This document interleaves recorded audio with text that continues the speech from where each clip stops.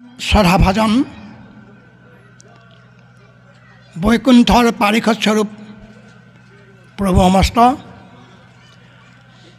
ভগৱন্ত কৃষ্ণৰ প্ৰেমত অনুৰাগী ব্ৰজধামৰ গোপীসকলৰ সদৃশ আই মাতৃ সমস্ত দেশৰ ভৱিষ্যত আশা ভৰসাৰ স্থল যুৱক যুৱতীসকল আৰু শিশু কৃষ্ণ সদৃশ মোৰ অতি মৰমৰ কণ কণ ভাইটি ভণ্টিসকল আজি এটি শুভ দিন। এই শুভ দিনটো আজি ইয়াত দ্বিতীয় বৈকুণ্ঠ নমাই আনিব নামি আহিব আৰু নামি আহিছে। ইয়াত এখন মহাসত্ৰ প্ৰতিষ্ঠা কৰা হ'ব আজি। আজি মেধিপৰ গৃহভাগী গৃহহীন থাকে। মেধিপৰ গৃহভাগী। আজি দ্বিতীয় বৈকুণ্ঠত পৰিণত হ'ব আৰু মহাসত্ৰ প্ৰতিষ্ঠা হ'ব। দ্বিতীয় বৈকুণ্ঠ কাক কয়? মহাসত্ৰ কাক কয়? শ্ৰৱণ কীৰ্তন ধৰ্ম থাকে যত্ৰ যত্ৰ। দ্বিতীয় বৈকুণ্ঠ সিটো তাকে বুলি সত্ৰ। য'ত ভগৱন্ত কৃষ্ণৰ গুঞ্জস প্ৰকাশিত হয় সেইখনে কোৱা দ্বিতীয় বৈকুণ্ঠ। য'ত ভগৱন্ত কৃষ্ণৰ গুণনুকীৰ্তন শ্ৰৱণ কীৰ্তন কৰা হয় সেইটোৱে হৈছে সেইখনে হৈছে মহাসত্ৰ। গতিকে আউনীতি দক্ষিণপাট সত্ৰ বুলি কয় যদিও প্ৰকৃত ভাগৱতৰ মতে সত্ৰ কোনখন? সত্ৰ আজি এইখনেই সত্ৰ। গতিকে এনেকুৱা সত্ৰলৈ ভকতসকলে আহিবলৈ কৈছে আহিব লাগে। গতিকে সত্ৰত যদি নাহে তেতিয়াহ'লে আমাৰ দুয়োটা ভৰি গছৰ শিপাৰ নিচিনা হ'ব। সেইকাৰণে আজি এই সমস্ত সাধু পৰিয়ালটিয়ে বহু কষ্ট কৰি আজি ভাগৱতৰ আলোচনা অনুষ্ঠানটি ইয়াত অনুষ্ঠিত কৰা হৈছে। এই ভাগৱত অনুষ্ঠানটি বৈকুণ্ঠৰ বস্তু বৈকুণ্ঠৰ পৰা নামি অহা বস্তু এই অনুষ্ঠানটি। ভাগৱত চাৰি বস্তু ইয়াত আছে। ভা গ ত। এই চাৰিটা আখৰৰ তাৎপৰ্য অসমীয়া ভাগৱতত নাই। মূল সংস্কৃত ভাগৱত আছে। প্ৰথম আখৰটো ভা। ভা আখৰটো কি কৈছে? ভা কাৰং ভাবুক জ্ঞং গ কাৰং জ্ঞানোদ্ভৱম অ কাৰং বৈষ্ণৱ জ্ঞানম। ত কাৰং তত্ত্বদৰ্শনম। ইতি ভাগৱত বৰ্ণনম। ভাষতে ক'লে মহাপুৰুষৰ ভাষাত ক'বলৈ গ'লে আহে লুকাই আহে সামাজিক লোক। আপোনালোকে যদি ভাগৱতৰ অমৃত পান কৰিবলৈ আহিছে তেতিয়াহ'লে কায় বাক্য মন এক কৰি বহক। দ্বিতীয় আখৰে ক'লে গ কাৰং জ্ঞানোদ্ভৱম আহে লুকাই। আহে সামাজিক লোক। গ আখৰে ক'লে তোমালোকৰ এটা জ্ঞান উদ্ভৱ হ'ব। শাস্ত্ৰৰ পঢ়িলে ঈশ্বৰক নাপায়। কেলৈ পঢ়িব লাগে? সিদ্ধান্ত দিছে শাস্ত্ৰ পঢ়িবাক লাগে জ্ঞানৰ কাৰণে। যদি নপঢ়ে জ্ঞানটো হ'ব ক'ৰ পৰা? গতিকে সেইকাৰণে গ আখৰে ক'লে তোমাৰ জ্ঞান উদ্ভৱ হ'ব। কিন্তু সেই জ্ঞানেও পৰম জ্ঞানত ঢুকি নাপায়। পৰম জ্ঞান ঢুকিবলৈ হ'লে কি কৰিব লাগিব? অ আখৰে ক'লে ও কাৰং বৈষ্ণৱ জ্ঞানম তেতিয়া তোমাৰ বৈষ্ণৱ জ্ঞান প্ৰাপ্ত হ'ব। বৈষ্ণৱ প্ৰাপ্ত হ'লেও ঈশ্বৰক নোপোৱা। কি হ'ব লাগিব? চতুৰ্থ আখৰটো দন্ত্য ত ত কাৰং তত্ত্বদৰ্শনম। তত্ত্বদৰ্শী হ'ব লাগিব। এই তত্ত্বদৰ্শীনো কাক কয়? মই এটা চমু উদাহৰণ মাত্ৰ দিছোঁ। ভগৱন্ত কৃষ্ণ বৈকুণ্ঠ প্ৰাণৰ প্ৰাক মুহূৰ্তত তেখেতে এজোপা বৃক্ষৰ ওচৰত আউজি আছে। এই বৃক্ষজোপাৰ নাম দিছে অশ্বত্থ বৃক্ষ। এই অশ্বত্থ বৃক্ষজোপা কেনেকুৱা হৈছে? তাৰ আগত এটা বিশেষণ খুৱাইছে শিশু অশ্বত্থ বুলি কৈছে। শিশু অশ্বত্থ। অৰ্থাৎ পুলি আহঁত গছ। জগতৰ ঈশ্বৰ ভগৱন্ত কৃষ্ণ। তেওঁ কি কাৰণে ডাঙৰ আহঁত গছত নাওজিলে আজি পুলি আহঁত গছ কিয় বাছি ল'লে? এইটো হ'ল তত্ত্ব। নামৰ মহিমা থাপিলে থাৱে থাৱে সকলোৱে বিচাৰি নাপায়। কোনে বিচাৰিব? বৈষ্ণৱগণকহে বিচাৰি পাৱে। ইয়াৰ তত্ত্ববিলাক বৈষ্ণৱসকলে বিচাৰি পায়। সেইকাৰণে ভগৱন্ত কৃষ্ণই অৰ্জুনক কৈছে কি বুলি ক'লে? অ মাধৱে কহন্ত অৰ্জুনত শুনা ইটো পৰমাৰ্থ তত্ত্ব। কোনে জানে কথাখিনি? সিদ্ধান্ত দিছে ভকতে খেমুৰ মহিমা জানে নিশেষ তত্ত্বৰূপে সখী জানি মোক তৰিও দুৰ্ঘূৰ দুখ হুক। তেতিয়া তুমি অন্তকালে গয়া আমাত হোৱা প্ৰৱেশ। তত্ত্বৰূপে জানিব লাগিব। এনেই শাস্ত্ৰ পঢ়িলেই নহ'ব। এনেই শাস্ত্ৰ ব্যাখ্যা কৰিলে নহ'ব। ইয়াৰ তত্ত্ব ত কাৰণ তত্ত্বদৰ্শনম এই তত্ত্বদোষী হ'ব লাগিব। এই তত্ত্বদোষী হ'বলৈ হ'লে ভকত থাকিব লাগিব। ভকতে ভাগত বুলি কোৱা হয়। ভকতে কোৱা হয় উত্তম ভকত। উত্তম ভকত আৰু ভকত ভাগত কাক কয়? ভগৱন্ত কৃষ্ণই বৈকুণ্ঠপণে প্ৰাক মনত ৰহস্য ভকতিত উদ্ধৱক ভগৱন্ত কৃষ্ণই নিজেই ক'লে শুনা উদ্ধৱ কোনজনক উত্তম ভকত বুলি কয়? কোনজন ভকতক ভকত ভাগত বুলি কয়?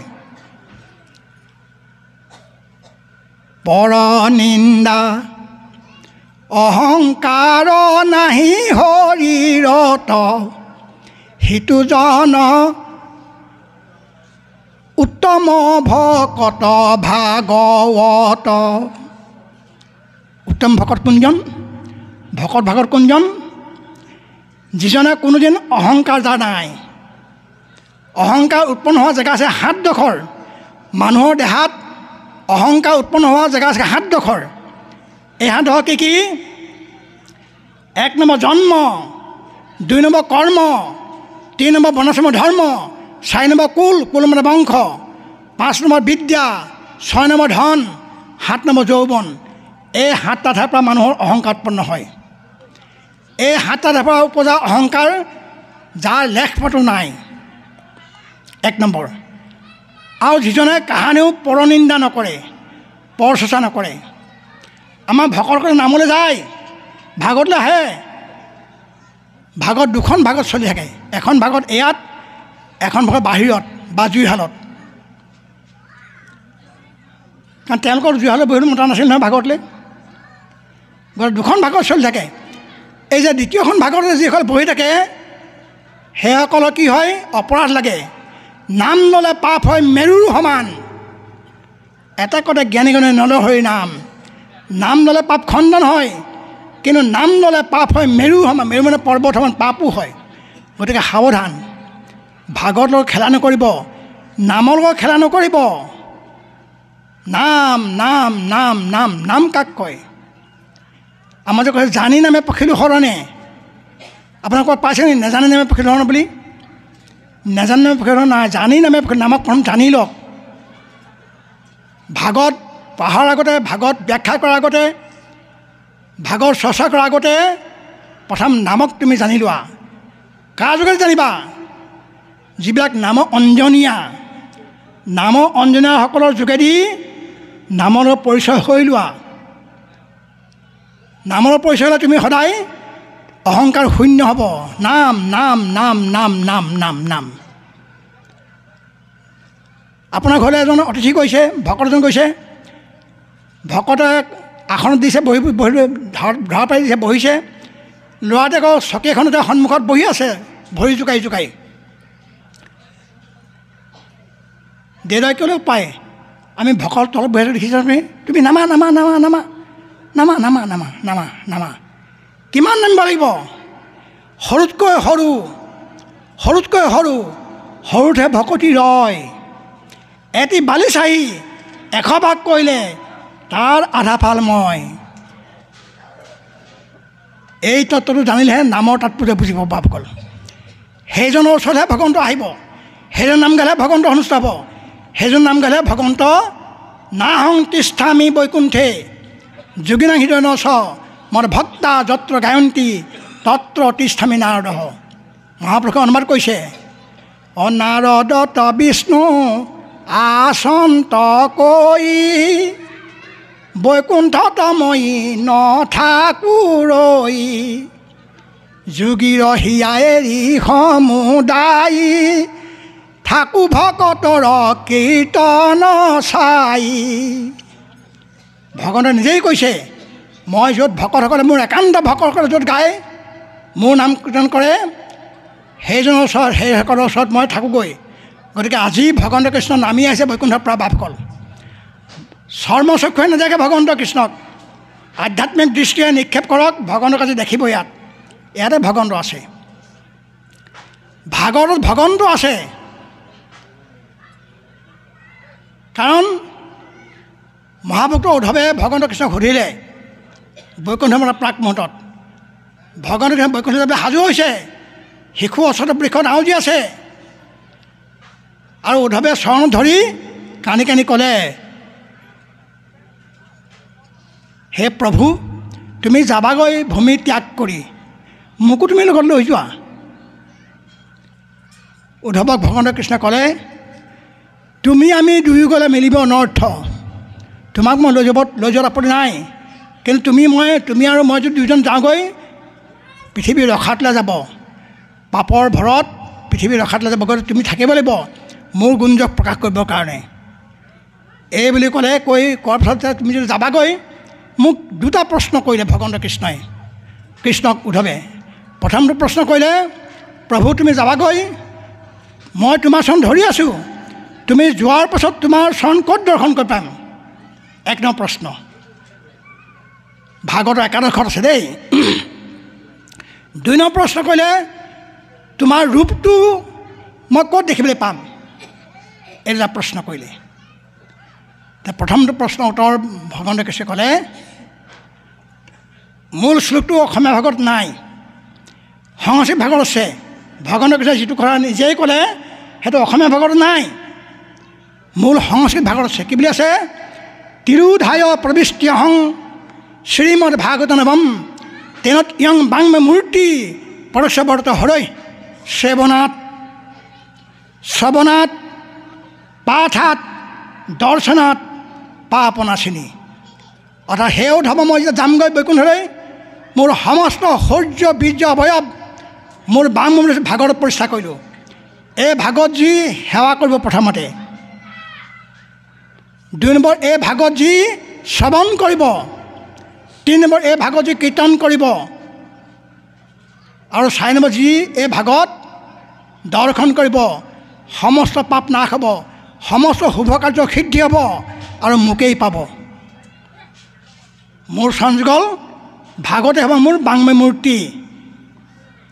একেটা কথাকেই মহাপুৰুষ মাধৱদেৱে গুৰুজনক সুধিলে গুৰুজন তুমি যাবাগৈ বৈকুণ্ঠলৈ তোমাক ক'ত পাম। একে উত্তৰ গুৰুজনে একেটা উত্তৰ দিলে। কি ক'লে? সোণা মাধৱৰ মোৰ থাকিবৰ থান। কীৰ্তনত দশম মোৰ মূৰ্তিৰ সমান। কীৰ্তন দশম য'ত থাকিব তাতে মই থাকিম। ভগৱন্ত কৃষ্ণই ক'লে য'ত ভাগত থাকিব তাতে মই থাকিম। দেখিছেনে? গতিকে বুজিলোঁ বাৰু উদ্ধৱে ক'লে। তোমাৰ ৰূপটো পিছে ক'ত দেখিম মই? তোমাৰ চৰঞ্জগল মই ভাগত দেখিম বুজিলোঁ। ৰূপটো ক'ত দেখিবলৈ পাম মই। তেতিয়া ভগৱন্ত কৃষ্ণই মিচিকে হাঁহি আমি উদ্ধৱক ক'লে। উদ্ধৱক কৈছোঁ আমাক ক'লে আজি আপোনাক কোৱা হৈছে আজি? ভগৱানৰ ৰূপটো ক'ত দেখিবলৈ পা ভগৱন্ত কৃষ্ণই ক'লে মুহুৰৰ ৰূপকো তুমি ভকতত দেখিবা। অঁ ৰ'বা ৰ'বা। মুহুৰৰ ৰূপকো তুমি গুৰুত দেখিবা। উদ্ধৱ সন্ধিয়া নহ'ল তুমি দুটা কথা ক'লা। প্ৰথম ক'লে ভকতত দেখিবা দ্বিতীয়তে ক'লে গুৰুত দেখিবা। যিকোনো এটা কথা কোৱা। তেতিয়া ভগৱানৰ পিছত মিচিক হাঁহি দেৱে ক'লে মই কেলৈ ক'লোঁ তোমাক? তাকো তোমাক সংশয় দূৰ কৰি যাওঁ যাবৰ সময়ত। তুমি যেনেকৈ মোক গুৰু ভজিছা ময়ো এজনৰ সদায় গুৰু ভজি থাকোঁ ভগৱানৰ কৃষ্ণই ক'লে। উদ্ধৱ আচৰিত হ'ল তোমাৰো গুৰু আছে? অঁ মোৰো গুৰু আছে। মই ঈশ্বৰ হৈ যদি গুৰু ভজি নেদেখুৱাওঁ ভৱিষ্যতে লোকৰ সমাজে গুৰু নভজিব কাকো। গতিকে মই গুৰু ভজি দেখুৱাইছোঁ। তোমাৰ গুৰু কোনজন? মোক দেখুৱাই দেচোন প্ৰভু এই বুলি উদ্ধৱে ক'লে। তেতিয়া ভগৱান কৃষ্ণই কৈছে মোৰ গুৰু ভকতে খে স্বৰূপ স্বভাৱ যেন বায়ু আকাশৰ নাহি ভিন্ন ভাৱ। সৰ্বতত্ব আকৌ কৈছোঁ সৰ্বতত্ব ভকতক ময়ে গুৰু মানো ভকত গুৰুত পৰে আনক নজানো শুনিলে? মোৰ গুৰু কোনজন? ভকতকে মই গুৰু কোনজন ভকতক মানো? যিকোনো ভকতক মই গুৰু নামানো। সৰ্বতত্ব ভকতক মই গুৰু মানো। যেন সৰ্বততজ্ঞ ভকত যি সমস্ত তত্ত্ববিলাক জানে। অলপ আগতে কৈ যোৱা তত্ত্ব এটা যেনেকৈ ভগৱান কৃষ্ণই যাব সময়ত তেওঁ এখন আসনত বহিছে। কোনখন আসনত বহিলে? আপোনাৰ যেনেকৈ বহিছে তেনেকৈ বহা নাই। তেখেতে বহিছে প্ৰথমতে সোঁহাতৰ কৰঙনত বাঁহাতৰ ভৰিটো তেনেকৈ দি লৈছে। এইখন আসন তেখেতে পদ্মাসন কৰি বহা নাই লেপেটি কৰি বহা নাই সোঁহাতৰ কৰঙনত বাঁহাতৰ ভৰিটো এনেকৈ দি লৈছে। সেই সময়ত উদ্ধৱে কি লিখিছে? আচন্ত কৃষ্ণ জগত ব্যাপী উদ্ধৱে ভগৱন্ত কৃষ্ণক দেখিছে গোটেই জগত ব্যাপ্তমান হৈ তেওঁ বহি থকা দেখিবলৈ পাইছে। এই আসনখন নাম কি? এই আসনখন নাম কি? জানিব লাগিব। এইবোৰকে তত্ত্ব বুলি কোৱা হয়। শুনক বাৰু মই কৈছোঁ মই যিখিনি ক'ব পাৰিম ক'ম আৰু। এইবোৰ তত্ত্ব কথা ভাগৱত হয় তত্ত্ব। ভাগৱত পঢ়ি অকল হাঁহিলে নহ'ব বাপকল। তত্ত্বজ্ঞ হ'ব লাগিব চকুটো হ'ব লাগিব ভাগৱতত পঢ়িলে। সপ্ৰেম ভকতি হ'ব লাগিব। এইখন আকৌ সুখম আসন। মনত আপোনালোকে পা? এইখন আসন নাম সুখম আসন। এই সুখম আসনখনত প্ৰথম বহি লৈছে। এই আসনত বহিয়ে শিশু অস্বতা বিষয়ত আঙুলিছে এইবোৰ তত্ত্ব এই তত্ত্ববোৰ জানিব লাগিব। এই তত্ত্ববোৰ নাজানিলে মানে এনেই ক'লে মানে অপৰাধ লাগে ক'ব নোৱাৰাকৈ। নামৰ যে দহটা অপৰাধ এই দহটা অপৰাধ লাগে। সেইটো গতিকে সাৱধান। নামৰ লগত খেলা নকৰিবা। খেলা নকৰিবা সাৱধান এই তত্ত্বখিনি তত্ত্বজ্ঞ ভকতসকলৰ লগত সুধি লওক এই তত্ত্বজ্ঞ ভকত য'ত ত'ত নাথাকে। সিদ্ধান্ত দিছে, শৈলে শৈলে ন মাণিক্যং মুক্তিকং ন গজে গজে, সাধবু নহি সৰ্বত্ৰ সাধবু নহি সৰ্বত্ৰ চন্দন ন বনে বনে। অৰ্থাৎ সংস্কৃত ভাষাত শৈল মানে পৰ্বত। পৰ্বততে মাণিক পায় কিন্তু সকলো পৰ্বতত মাণিক নাপায়। শৈলে শৈলে ন মাণিক্যং পৰ্বততে মাণিক পায় কিন্তু সকলো পৰ্বত মাণিক নাপায়। তাৰপিছত কৈছে গজমুকুটা হাতীত পায় হাতী মূৰত কিন্তু সকলো হাতী মূৰত গজমুকুটা নাথাকে। তেনেকৈ চন্দনকাঠ হাবিত পায় কিন্তু এই মহামাৰী হাবিত চন্দনকাঠ নাই নাপায়। তেনেকৈ সাধবু নৈ সৰ্বত্ৰ সাধবু নৈ সৰ্বত্ৰ সাধুলোকো য'ত ত'ত নাথাকে য'ত ত'ত নাথাকে য'ত ত'ত নাথাকে। সেইকাৰণে সাধুলোক যদি পায় কেনেবাকৈ ক'ৰবাত ভাগ্যে সময় অপব্যয় নকৰিব। কাৰণ সাধুৰ সংগত সদায় সৎ কথা, ঈশ্বৰৰ কথা আলোচনা কৰিব লাগে। ভগৱন্ত কৃষ্ণক পাবলৈ সহজ কৰি দিছে মহাপুৰুষ মাধৱদেৱে। আমি সকলোৱে ঈশ্বৰক পাবলৈকে আহিছোঁ আজি? কিন্তু ঈশ্বৰ কেনেকৈ পাবা? মহাপুৰুষ মাধৱদেৱে চমুকৈ কৈ দিলে উপায়টো। উপায়টো মই দিছোঁ আজি। সদায়তো নাহোঁ আপোনাৰ মাজলৈ লাগে লাগে? ঈশ্বৰক পোৱা উপায়টো সোনকালে। ঈশ্বৰক যে পাব লাগে সহজে। উপায়টো লাগেনে আপোনাক লাগে। শুনকচোন বাৰু। মহন্তৰ সংগে সাধু কথা ৰখে মনক জিনিও বাই মায়া কটৰীয়া হৰি কপাই বাৰ উপায় আৱৰ নাই। মায়া তৰিবলৈ হ'লে ঈশ্বৰক পাবলৈ হ'লে উপায় দিলে কি? মহন্তৰ সংগে। প্ৰথম প্ৰথম মহন্তৰ সংগ লওক। দুই নম্বৰ ক'লে হৰি কথা ৰখে। মহন্ত সংগলৈ সময় নষ্ট নকৰিবা ঈশ্বৰৰ কথা পাতা। মহন্তৰ সংগে হৰি কথা ৰাখে মনক জিনিও ভাই মন মন মন মন মন কাক কয়? মন কাক কয়? ভাগৰে কৈছে বহু কাৰ্য কৰিবেক কৰে আলোচনা একো কাৰ্য নসাধে তাকে বোলে মন তাকে মন বুলি কৈছে। আমাৰ যে কয় ৰাতি হ'লে সাতহাল বাই পুৱা হ'লে এহালো নাই। এইটোকে মন বুলি কৈছে। মানে মনটোক জিনাটো কম কথা নহয় মনটো জিনিব লাগিব। ঈশ্বৰৰ কথা পাতিলে মনটো জিনিব পাৰিবা ভকতৰ সংগত। তেতিয়া তুমি মায়াটো এৰিবা মায়াটো নকৰিলে এই ভগৱানক তুমি কণ্ঠলগ্ন বস্তু কেনেকৈ সদায় পাই থাকিবা। এইদৰেই ভগৱানৰ পোৱাৰ ব্যৱস্থাখিনি মহাপুৰুষ মাধৱদেৱে কৈছে। গতিকে বাপসকল আইসকল মই দীঘলীয়া নকৰোঁ। ইয়াৰ পিছতে অমৃত পান কৰিবলৈ পাব আপোনালোকে। কিন্তু তাৰ আগতে এটা কথা জানিব লাগিব। নহ'লে অপৰাধ লাগিব। ভাগৰত কেনেকৈ থাকিব লাগিব? ভাগৰত ভাগত কেনেকৈ শ্ৰৱণ কৰিব লাগিব? এইটো কথা কিন্তু জানিব লাগিব। নাজানিলে মানে অপৰাধ লাগিব। ভাগত ব্যাখ্যা কৰাজনো অপৰাধ লাগিব আৰু আমাৰ সকলো সকলো অপৰাধ লাগিব। এই কথাটো নাজানে। সেইকাৰণে সেইটো কথা জানি ল'ব লাগিব। জানিলে প্ৰকৃত ধৰণে বুলি মই আগতে কৈছোঁ। এইটো জানিবলৈ কি কৰিব লাগিব? ভগৱন্তক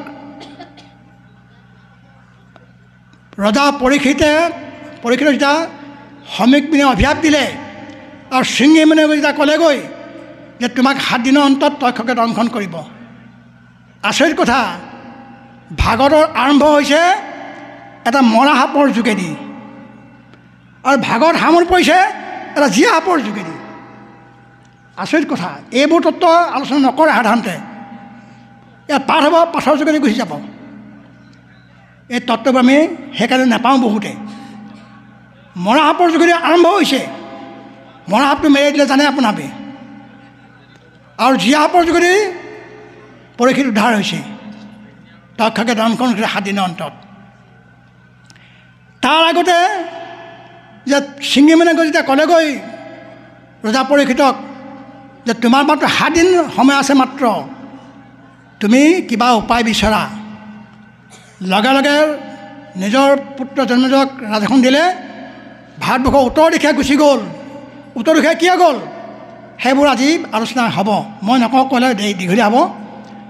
গতিকে উত্তৰ দিশে গ'ল পূব পশ্চিম দক্ষিণ এই তিনিটা দিশে যোৱা নাই। উত্তৰ দিশে গৈছে ভাগত লেখা আছে। কি কাৰণে উত্তৰ দিশে গ'ল? তাৰ তাৎপৰ্য আছে। উত্তৰ দিশে গ'ল গৈ যেতিয়া য'ত আছে ষাঠি হাজাৰ ঋষিমণি বেদৰ গায়ত্ৰী মেলত পৰি থাকে। অহোৰাত্ৰ। তেওঁ ক'লেগৈ যে মোৰ পৰিচয় দিলে মই পৰীক্ষিত। মোক অভিশাপ দিছে সাত দিনৰ অন্তত দক্ষকে দংশন কৰিব মই মৰিম। মৃত্যু ভয়ৰ পৰা মই কেনেকৈ ৰক্ষা কৰিম উপায় দিয়া। বিভিন্ন ধৰণৰ উপায় দিলে। কিন্তু সেই উপায়বিলাক এটা উপায়ো তেওঁ মনপ্ৰত নহ'ল। অৱশেষত পূব ফালৰ পৰা এজন আহি আছে। শৰীৰ বিবস্ত্ৰ গাত কাপোৰ নাই। আজনমিত হস্ত। হাত দুখন আঁঠুমৰ পৰা ছত্ৰকৃতি মাথ কেশ মেঘ নয় বাণী মেঘ গম্ভীৰ আহি আছে। তেওঁক দেখাৰ লগে লগে গোটেইবিলাকে সম্ভাষণ জনাই ষাঠি হাজাৰ দেখি পিনে পৰীক্ষিতে চিনি নাপায় তেওঁ কোন? সুধিলে এৰানো কোন? দুটা বিশেষণ খুৱাইছে। এৰা সাক্ষাৎ মহাভাগৱত। দুই নম্বৰ বিশেষণ কৈছে এৰা মায়াৰ অতীত।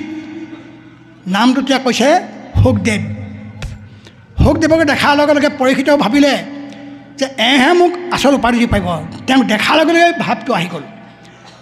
এতিয়াও দেখিব সমাজত ঢেৰ লোক থাকে।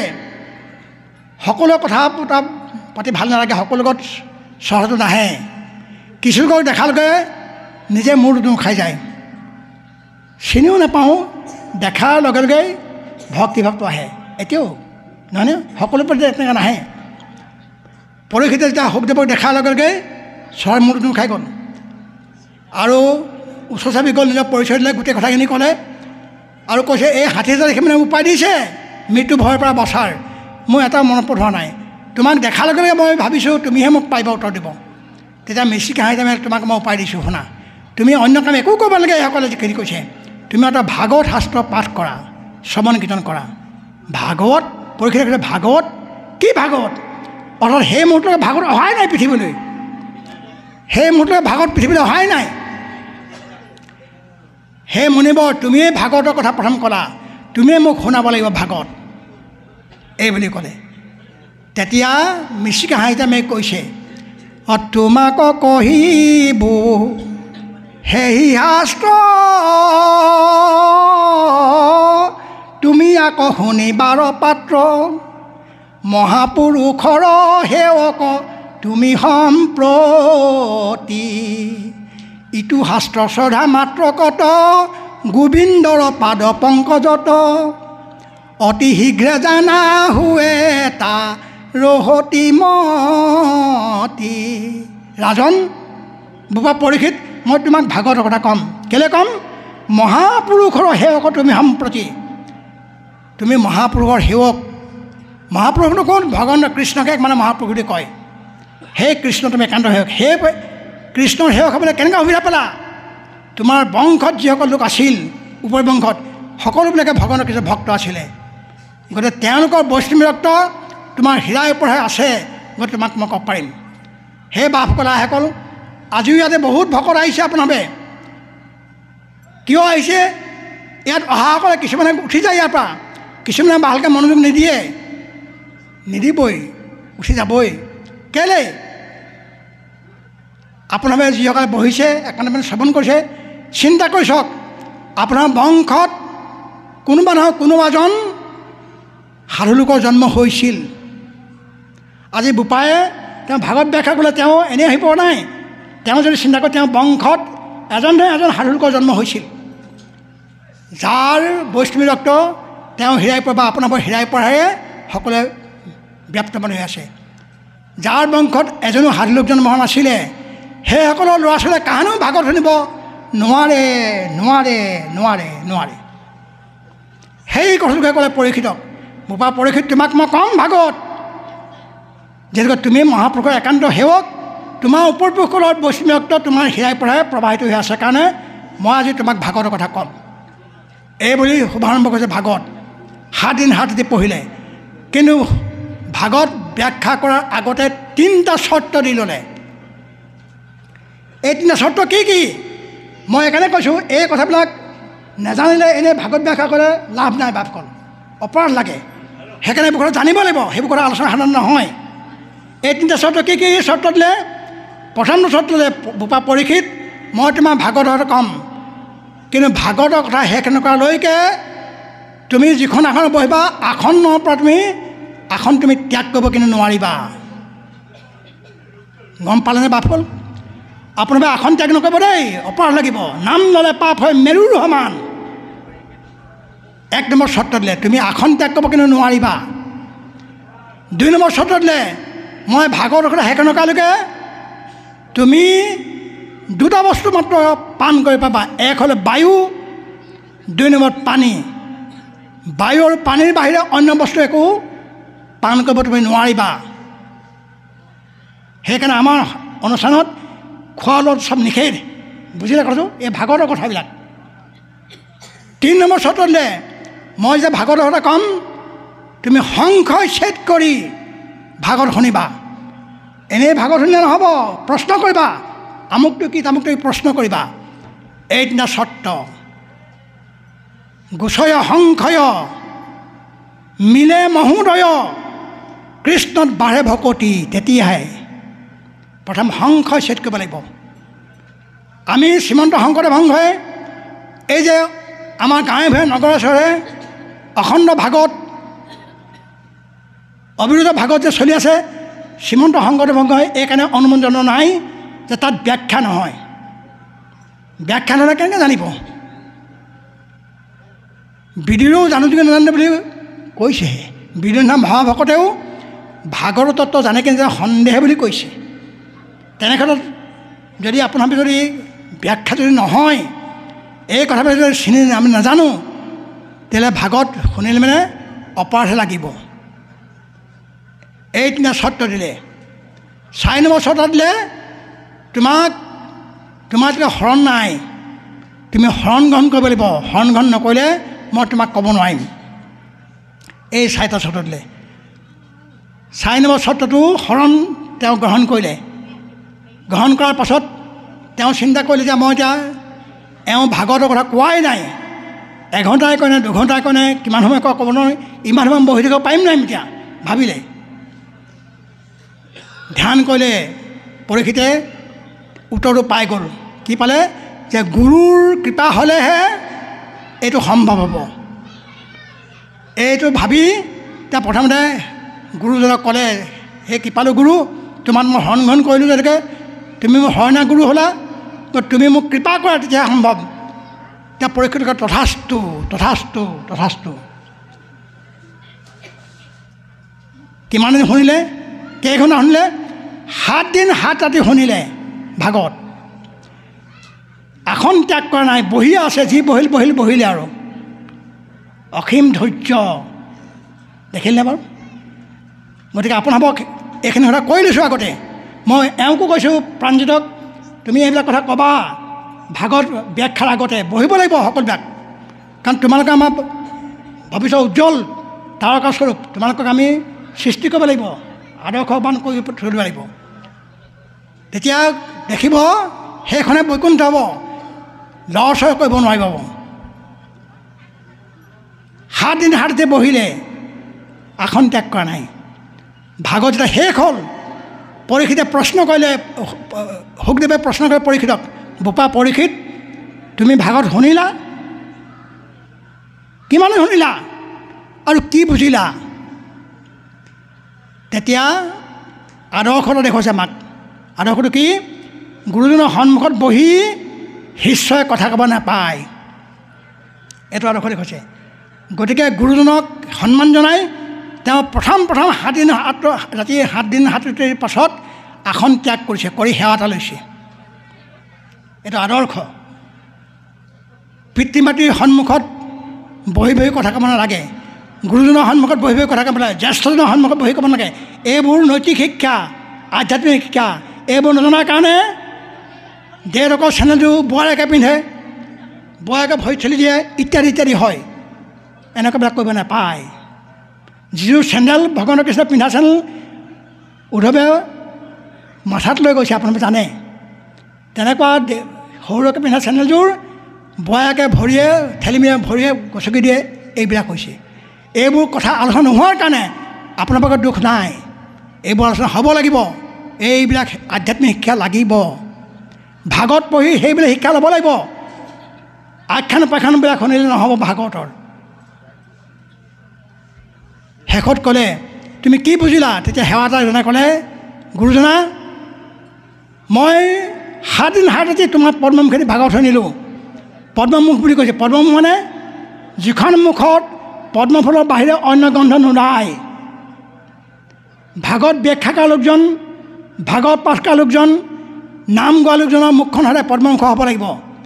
যিকোনো বস্তু যদি পালেই খাই দিয়ে সেইখন মুখে যদি ভাগৱতৰ কথা কয় সেইখন মুখে যদি ভাগত পঢ়ে সেইখন মুখে নাম কীৰ্তন কৰে। নাম ল'লে পাপ হয় মেৰুৰ সমান। মনত ৰাখিব পাপকল এনেই নাম কীৰ্তন মুখচাৰ কাৰণে নাগাব। সুৰ সঞ্চাৰ ভাল বুলি কাৰণে নাগাব। অৰ্থ প্ৰকাশ কৰিব জানো বুলি নাগাব। অপৰাধ লাগিব বাপকল সাৱধান। গতিকে সাতদিন হাতীৰ অন্তৰত ক'লে তোমাৰ পদ্মমুখেদি মই যেতিয়া ভাগত শুনিলোঁ মই মাত্ৰ এটা কথা বুজি পালোঁ। সুখদেৱ আচৰিত হ'ল তুমি সাত সাতদিন হাতী শুনিলা বাছখনৰ ভাগত মই ক'লোঁ তুমি এটা কথাই বুজি পালা? কি বুজি পালা কোৱাচোন? এতিয়া দ্বিতীয়বাৰ সেৱা এটা কৰি দিছে পৰীক্ষিতে গুৰুজনক সুখদেৱক। সেৱাটো কৰি কৃপালু গুৰু মই পৰীক্ষিত নহয়। মই সেইটোৱে বুজি পালোঁ। ভাগত পঢ়ি ভাগত শুনি সাধে সাধে মই বুজি পালোঁ মই পৰীক্ষিত নহয়। তুমি পৰীক্ষিত নহয় তুমি কোন? মই আত্মা। মই আত্মা। মই ভাগত শুনি সাধে সাধে মই বুজি পালোঁ কি মই পৰীক্ষিত নহয় মই আত্মা। আত্মা অমৰণ আত্মা অভগন আত্মাৰ মৃত্যু নাই।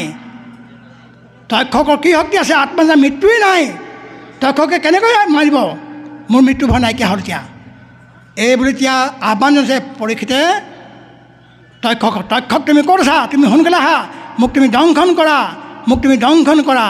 কাৰণ তুমি খেতিয়ক পথে যে বোম জুই পানী মাটি বায়ু আকাশ এই পঞ্চভূতে গঢ়া দেহাটো তুমি নাশ কৰিব পাৰিবা। কিন্তু মইতো ভাগত শ্ৰৱণ কৰি গুম পালোঁ মইতো দেহাটো নহয় পঞ্চভূতৰ দেহা নহয় মই আত্মা মই আত্মা। এতিয়া আপোনাৰ নিজকে প্ৰশ্ন কৰক বাপ কল আপোনাৰ কিমান দিন ভাগত শুনিলে? কিমান দিন ভাগত পঢ়িলে?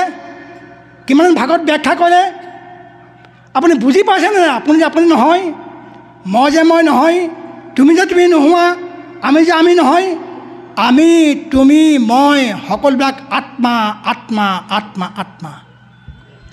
ভাগত পঢ়ি ভাগত অধ্যয়ন কৰি বুজিব লাগিব মই আত্মা। তেতিয়া আপোনাৰ মৃত্যু ভয় নাইকিয়া আত্মা অমৰণ আত্মা অমল আত্মা মৃত্যু নাই। এইখিনি কথাৰ যোগেদি ভাগৱতৰ কথা সাদি সাদি ক'লেও শেষ নহয় বাপকল আৰু বহুত কথা আছে, মাত্ৰ শেষত এটা কথা কৈ মই সামৰিছোঁ, উদ্বোধন কৰিছোঁ। এইটো কি? ভাগৱত ভগৱান কৃষ্ণ কেনেকৈ আছে? সেইটো কথা জানিব লাগিব। ভাগত পঢ়াসকলে ভাগত ব্যাখ্যাকাৰসকলে জানিব লাগিব ভাগৱত ভগৱান কৃষ্ণ কেনেকৈ আছে, এইটো জানিব লাগিব। এইটো জানিবলৈ হ'লে ভাগৱত প্ৰথম স্কন্ধতে কৈছে, যেতিয়া ব্যাসদেৱে বেদৰ সমস্তখিনি বাই কথা বিভিন্ন শাস্ত্ৰ ৰচনা কৰি সকলোকে বুজাবলৈ চেষ্টা কৰিলে। অৱশেষত ব্যাসদেৱে নিজেই মগজু বিকৃতি ঘটিল। ব্যাসদেৱ পাগল হ'ল। ব্যাসদেৱ কিয় পাগল হ'ল? ব্যাসদেৱ পাগল হ'ল কাৰণ তিনিটা।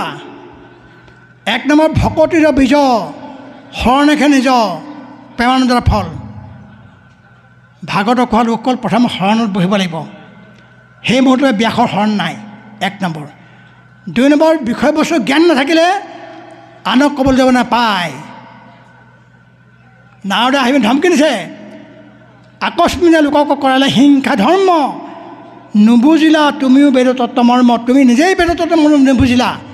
বেদে কি হৈছে তুমি নিজে নাজানিলা। তুমি আকৌ আনক ক'বলৈ গ'লা যিটো অপৰাধ। সেইকাৰণে বাপকল আইকল এইকেইটা কাৰণতে ব্যাসমণি পাগল হ'ল। যেতিয়া ব্যাসক ক'লে যে তুমি এইটো কাৰণে তোমাৰ বগজু বিকৃতি হ'ল তেতিয়া ক'লে তুমি মোক গালি নাপাৰিবা অভিশাপ নিদিবা মোক তুমি উপায়টো দিয়া। কি কৰিলে মই? মোৰ এই বিকৃতি ভাল হ'ব। তেতিয়া উপায় দিছে কি বুলি? মূৰৰ উপদেশে কৰা ভাগৱত শাস্ত্ৰ। প্ৰচাৰক গোবিন্দৰ গুণনাম মাত্ৰ।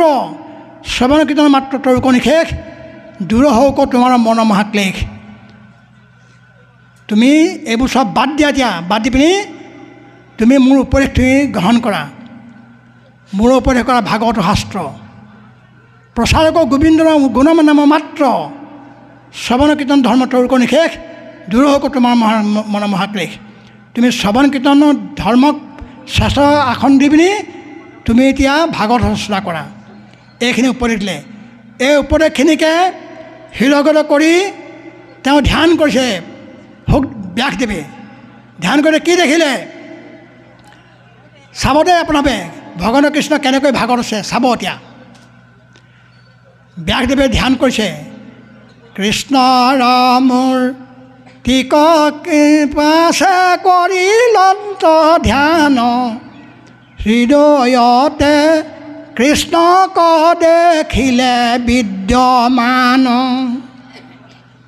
ধ্যান কৰিলে যেতিয়া ভগৱান কৃষ্ণক ব্যাসদেৱে হৃদয়তে দেখিবলৈ পালে। কেনেকৈ দেখিলে?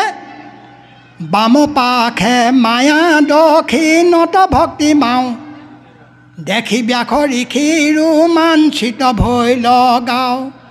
বাওঁফালে মায়া মাতৃ মায়া আৰু সোঁফালে ভক্তি মাতৃ তাৰ মাজত ভগৱান কৃষ্ণ। এই ৰূপতেই ব্যাসদেৱে ভাগৱত প্ৰতিষ্ঠা কৰিছে ভগৱান কৃষ্ণক। গতিকে ভাগৱত পঢ়াৰ লগে লগে ভাগৱত ব্যাখ্যা কৰাৰ লগে লগে যিসকলে ভাগৱত ব্যাখ্যা কৰে যিসকলে ভাগৱত শুনে যিসকলে ভাগৱত পাঠ কৰে সেইসকলে ভগৱান কৃষ্ণক হৃদয়লৈ আনি ল'ব লাগিব। নহ'লে অপৰাধ লাগে। এইখিনি যোগেদিয়েই আজি ভাগৱতৰ পবিত্ৰ এই ব্যাখ্যা অনুষ্ঠানটি ইমানতে শুভাৰম্ভ কৰিলোঁ বুলি আৰু উদ্বোধন কৰিলোঁ বুলি ঘোষণা কৰি আমি সামৰণি মাৰিছোঁ জয় গুৰু শংকৰ অপৰাধ বিনাশন কৃষ্ণ কৃষ্ণ।